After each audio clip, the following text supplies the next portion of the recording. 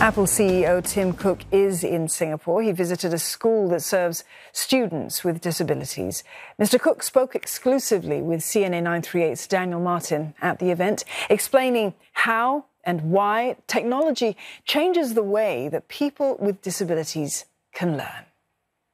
I see it accelerating their learning ability, and it makes my heart sing to see it in action. We, from the very beginning of a design of a product, we focus on accessibility. We want to have our products be used by people that are blind or people that are deaf or people with motor skill issues or whatever differently abled skills they may have. And it makes my heart sing to see it in action. I do think that the intersection of a great teacher, which you saw here, and great technology, which you saw, really promotes an acceleration of learning that is hard to see in any other way. And we have Daniel here with us and also Yap Feng Kai. He's acting head of program for information, communication and technology and assistive technology at the Cerebral Palsy Alliance Singapore School East. Welcome to you both, gentlemen. It's good to mm. see you. Thank you. Hi. So, Daniel, we heard just heard there your interview with Tim Cook today. What stood out to you? I got a chance to speak to him after he interacted one on one with students at CPAST, and you could see straight away that he really saw the power of technology to give voice to people that need the voice. The first thing he said to me is technology can really accelerate learning in people with disabilities. And he saw that. He literally just saw that 20 seconds before he spoke to me. And I think one of the things that really stuck out for me is he said that it's more than the technology alone, it's the intersection between the technology and the teachers. The teacher has to bring out the best in the student through the tools that the technology gives them, whether it's about assistive touch or whether it's about a student that is having difficulty interacting with the screen. I love that he recognized that human tech interface. Yeah, it, you can have the technology, but you've got to be able to have somebody show how it can be applied as well. It's so important, isn't it? To bring it out of the student. Exactly. Yeah. Feng Kai, let's bring you in on the conversation here. Uh, tell us about what learning challenges children actually face in this realm and how technology is changing their lives. All right, so to bring a bit of context, most of our kids in our school has uh, physical motor challenges. So because of that, they can't really access things that we take for granted. For example, telling your mom what you want to buy for breakfast in the morning, uh, taking the bus, uh, going to the playground to play. That's a big one. And even going out or just being in the community doing what other people do. Yeah. So the technology really helps to increase the level of participation access to these activities, sometimes in a very different way. So, for example, they could, instead of going up to the whiteboard to write, to show what they have learned, they could do it on the device, s- cast it onto the screen, and then let everybody see what they have been Yeah. doing. It's the participation that is the key here, Because isn't if they didn't have that, Yeah. They wouldn't have anything to say. They wouldn't Exactly. be able to say anything. Yeah. So you've brought, brought in some assistive technology, I mean, some, some adaptive uh, devices with you here today, Feng Kai. Yes, Can you I just briefly explain to us how they might be used? Yes, I did. So I'm going to show you guys one of the ways my students use the iPad. This is they're going to use this feature called switch control. So it's basically I have this uh, switch interface that's Bluetooth connected to the device. There is a switch that we mount, and we can actually mount this part to any part of the body where the child is able to move. So, for example, if they can't use the hand, they can use the chin and things like that. So I'm going to use my finger for today. Uh, I'm going to do a very simple demonstration. So I'm going to shift this circle over here to do a Mickey Mouse. This is something that uh, some of the kids take a long time to do. So basically how it works is that when I press the button, you see this thing starts moving, right? I'm basically trying to pan and trying to scan. So I'm trying to first select this. So you think about if you want to bring this in, you're going to move your finger and bring it over to this side. All right.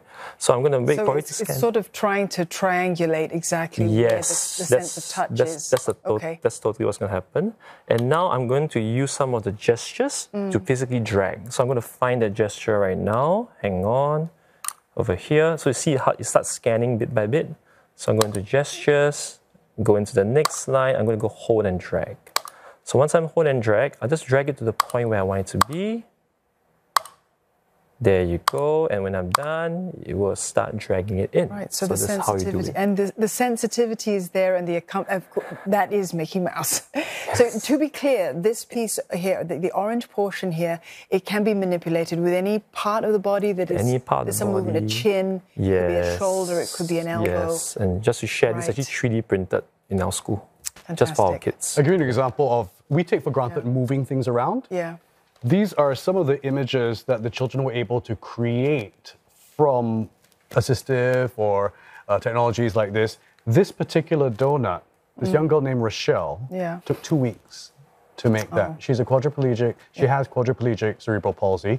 It takes two weeks of doing that to create this beautiful donut with pink frosting and rainbow sprinkles. They converted it into stickers they handed it to Tim Cook. They were so happy to hand it to him at the beginning of the segment.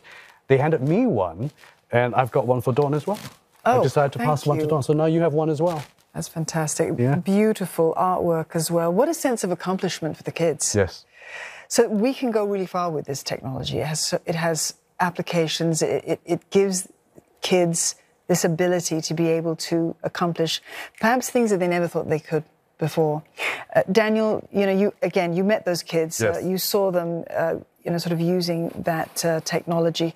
How much further do you think we can go with, oh. with what's available? It opens so many doors. I think we're just scratching the tip of it. I'll give you an example. One of the youngsters I met, uh, Aloysius Gan, he's a para athlete in a wonderful sport called boccia, and he his face beamed when he was able to show Tim Cook a video he had made. The video showed his personality, his character. He had helped script it, cut it together, and edit it. I think the idea of them being able to participate in social media, in advocacy through being YouTubers or TikTokers or talking about their disabilities and their mm-hmm. experiences is a form of advocacy. So I think technology helping them to participate in mainstream opportunities is going to help normalize difference. Yeah, and what an opportunity as well to be able to do that for Tim Cook. You should have seen his yeah. face. He couldn't wait to play that video. He really couldn't. What an opportunity. Feng Kai, I'm struck by all of this because obviously these kids, they progress to, yeah. you know, young adulthood and, you know, their sort of aspirations, they change as well. Tell us something about how the technology can sort of work in that process as well to sort of move them from from the aspirations that they may have when they're younger to when they're a bit older? I think essentially the opportunity gives them the technology gives the opportunity to really expand their options. Yeah. Help them really access more activities, help them grow, help them learn, and help them participate in society. I think through that, opportunities may open up for them to use the tech to work in a totally different way, like what yeah. Neil said, in social media, in the virtual space, this is actually a platform for them to really move towards, mm. despite all the physical challenges. And it's something that is, you know, more accessible as compared to the mainstream work like working in the office and things like that. Because let's bear in mind, a lot of them may not have the ability to travel yes. to the workplace and may require a work from home opportunity. And if mm. they could work digitally and remotely, it opens up employment opportunities. Daniel, in your interaction with the kids today, did they talk more about you know the opportunities that they had than the many challenges they probably do face? That is such a spot on comment to make. Not once did they talk to me about, oh, it took me so long to make this. Oh, it was so difficult. There's this one lovely girl, Rochelle, who has to operate, she has quadriplegic cerebral palsy, has to operate by sipping and puffing on a straw that's connected to her device. It looked to me like such effort she never once talked about it. She was more interested to show me her design. Yeah. So I think that's what shines through with this kind of access to technology. They're more excited by what they can do than by how difficult it is to us. Well, they're an inspiration to all of us. Gentlemen, thank you so much thank for coming so into the studio this thank evening you. to talk about this. Yap Feng Kai there from the Cerebral Palsy Alliance Singapore mm. and our very own CNA 938 presenter, Daniel Martin. Thank you to you, to you both. Thank you so much.